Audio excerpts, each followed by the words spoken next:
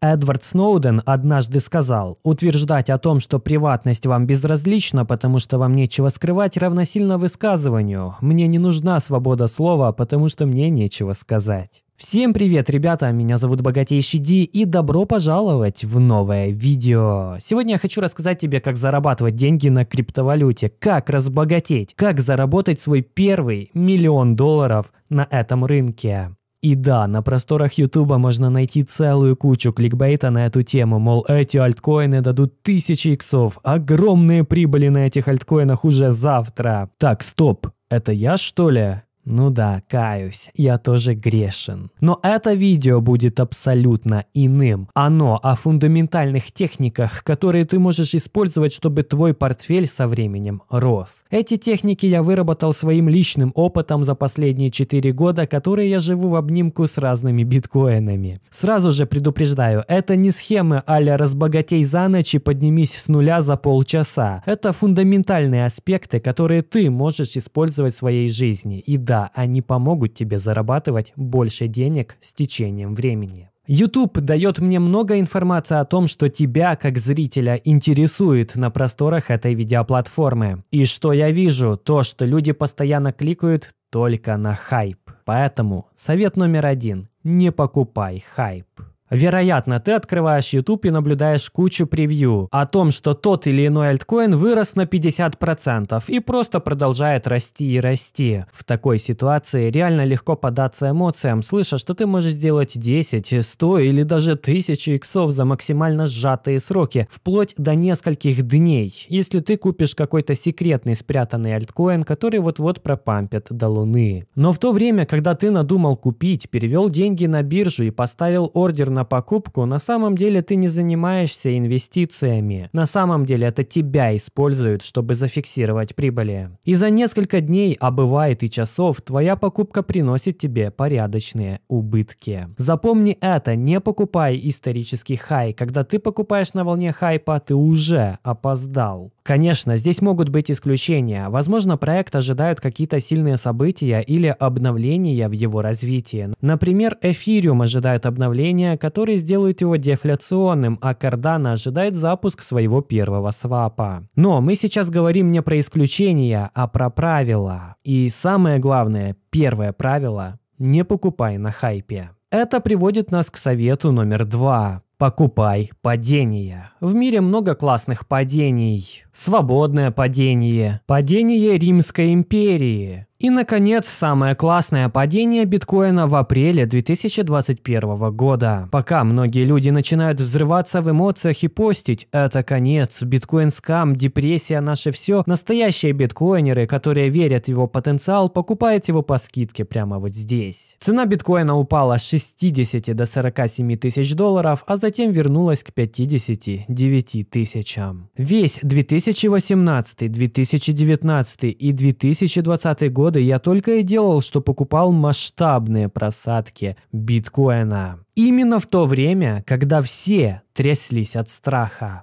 Когда рынок падает, твои эмоции зашкаливают, и ты начинаешь паниковать и в ужасе спрашивать, что происходит. В такие моменты ты не сможешь четко и ясно вспоминать о том, почему ты веришь, что проект, в который ты инвестируешь, несет в себе настоящую ценность, в которую ты когда-то поверил. Самый яркий пример этого случился в марте 2020 года, когда биткоин резко обвалился из-за пандемических локдаунов. Я снимал тогда видео и пытался объяснить, что это было отличным моментом, чтобы купить биткоин. Хотя, чтобы сказать это, мне пришлось переступить через все свои негативные эмоции. Когда я записывал это видео, на самом деле я думал, это полный кошмар, я потерял так много денег. Прошедший год с тех пор преподал мне хороший урок. Не теряй понимания того, почему ты настроен оптимистично к биткоину или другому проекту. Если твоя покупка имела солидный фундамент из исследования проекта, фундаментального понимания, почему он будет расти, ты всегда будешь уверен, что цена после даже сильнейшего падения отскочит и будет расти дальше.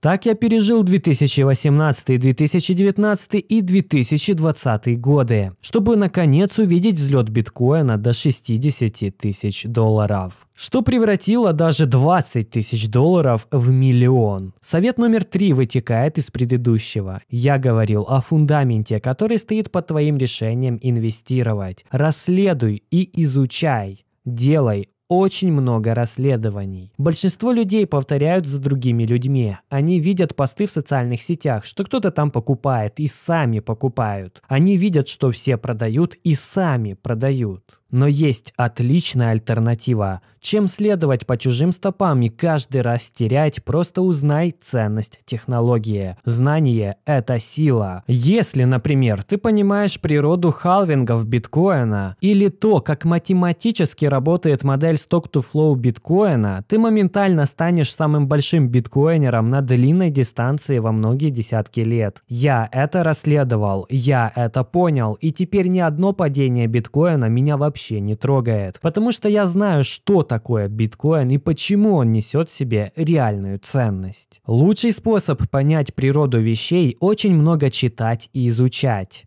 Также можно смотреть видео от математиков и экономистов, которые разжевывают все до конца, что такое блокчейн и криптовалюта на самом деле. За ней стоит математика, которая обязывает их цены расти. Эти видео потребуют очень много твоего времени и внимания, но полученная ценность будет стоить того. Эти знания дадут тебе большое преимущество перед эмоциональной толпой. Кстати, если ты хочешь, чтобы я снял такое видео на 4 часа, которое разжевывает блокчейн и криптовалюты, поставь лайки, напиши комментарий, чтобы я об этом знал. Чувствую, что это будет очень большой труд, поэтому попрошу хотя бы тысяч восемь лайков. Было бы неплохо. Совет номер 4. Покупать слухи и продавать манию.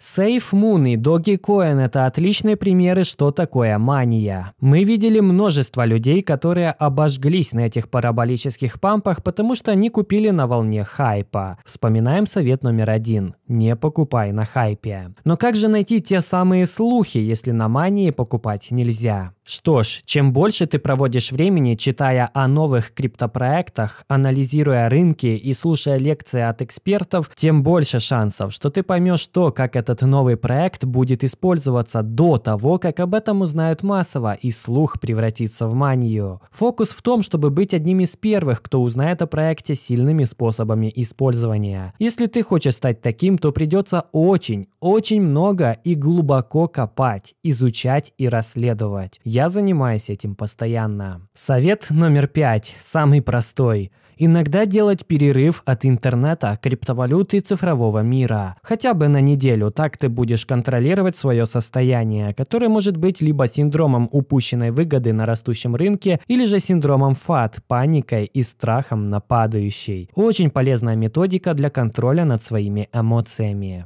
Совет номер шесть. Совершенствуй свои умения в реальном мире. Вместо того, чтобы бесполезно бродить по интернету, лучше совершенствуй свои умения в экономике. Читай, практикуйся, делай выводы. Многие из нас из-за частого пользования интернетом незаметно для самих себя обзавелись таким расстройством, как ADHD. Потеря концентрации внимания, гиперактивность и импульсивность. Это можно исправить. Просто начни читать книги, которые повысят твою ценность для экономики. Я знаю, если ты новичок и просто вбил в ютубе, как заработать кучу денег на крипте и желательно побыстрее, то это явно не то, что ты хотел бы услышать. Но ты должен запомнить, что мы живем в экономике умений и труда, которая платит тебе за то, насколько ты являешься ценным для нее. Если ты хочешь стать богатым, стань для начала ценным.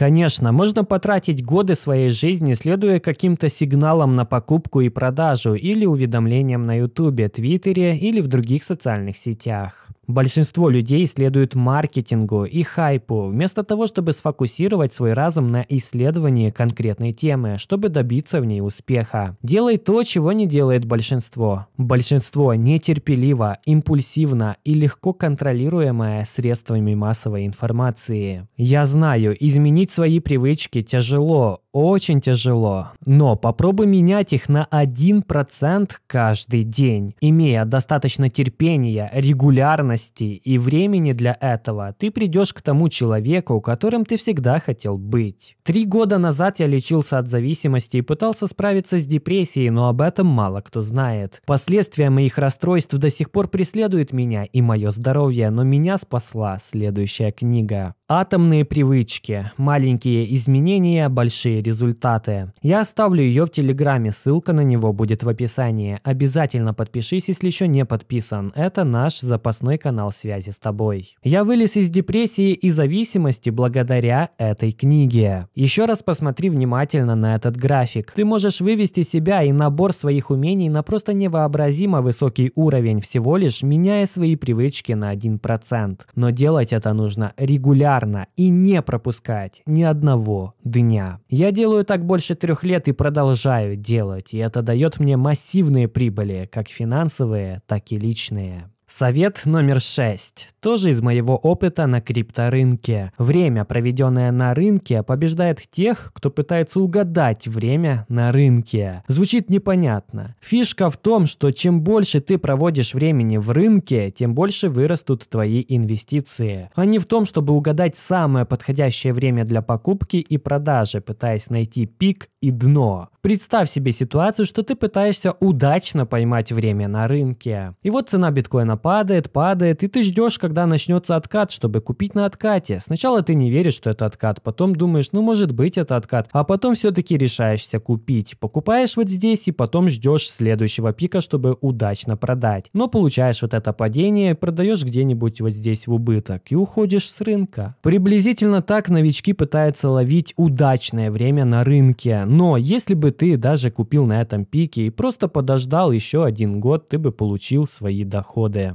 Еще раз, время, проведенное на рынке, всегда побеждает тех, кто пытается поймать время на рынке. Теперь это уже звучит понятно, не так ли? Я знаю, когда у тебя всего 500 долларов в рынке, может казаться, что твои небольшие деньги никогда не вырастут во что-то серьезное. Но важно помнить, что на протяжении множества лет сложный процент и экспоненциальный рост добавят к твоему портфелю очень много, даже если в нем всего 500 долларов изначально. Представь себе бассейн, в котором плескается одна кувшинка, которая каждый день умножается на 2. Чтобы покрыть половину бассейна, ей понадобится 47 дней, а вот чтобы покрыть остальную половину, ей нужны лишь только сутки. Я знаю, ты сейчас думаешь, я не хочу ждать годами, я хочу кучу денег прямо сейчас. Давай я тебе скажу, почему ты не хочешь много денег прямо сейчас. Обычно ты начинаешь зарабатывать много денег тогда, когда ты готов к этому, развит и образован в своей сфере. Но если ты не готов, если ты не развит и не образован в своей сфере, то скорее всего быстрые деньги для тебя будут не более чем выигрыш в лотерею, и ты закончишь тем, что денег у тебя не останется. На этом все. Если видео тебе понравилось и было полезным, не забудь поставить лайк и подписаться на канал. Здесь мы говорим о криптовалюте каждый день. И если тебе это интересно, обязательно подпишись. Нас уже скоро 150 тысяч. Сейчас стоит цель в 200 тысяч. Я буду благодарен, если ты поможешь мне ее достичь. Для этого я делаю все. Большое спасибо за поддержку. А меня зовут Богатейший Ди, Богатей. И до скорого.